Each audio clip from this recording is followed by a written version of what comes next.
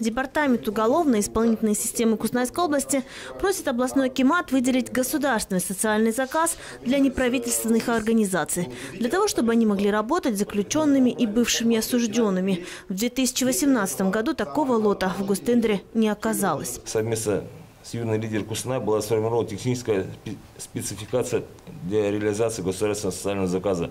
Название лота государственного социального заказа оказание социальной правовой помощи лицам, со- состоящим на учете службы пробации, Поскольку департаменту УИС неправомочен объявлять государственный социальный заказ и финансирование какого-либо проекта для решения данного вопроса, мы обратились в Управление внутренней политики Акимата Кустанайской области. Однако сотрудники внутренней политики отказали в финансировании данного проекта, ссылаясь на то, что данный вид услуг не подлежит их специфике. Затем Департамент уголовно-исполнительной системы обратился еще в ряд ведомств, но и в них получили отказ. Вот они предлагают сами. В принципе, вот э, господин Мусин уже об этом говорил.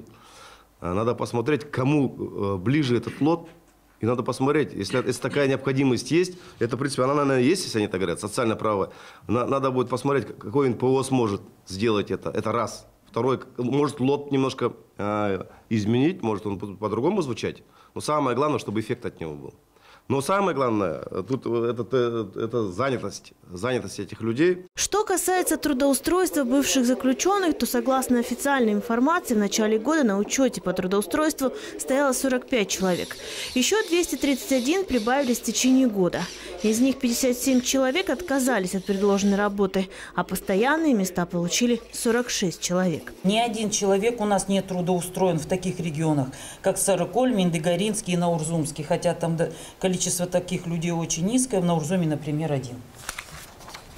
Ниже среднего областного показателя у нас это 45,1%, в Карабалыкском 9% всего, в Аулюкольском 9%, в Жангельдинском 33% и в городе Кустанай 31,8%. Также сотрудники Департамента уголовно-исполнительной системы Кузнецкой области обратились к заместителю Акима области с просьбой открыть в регионах небольшие общежития для временного проживания освободившихся из мест заключения.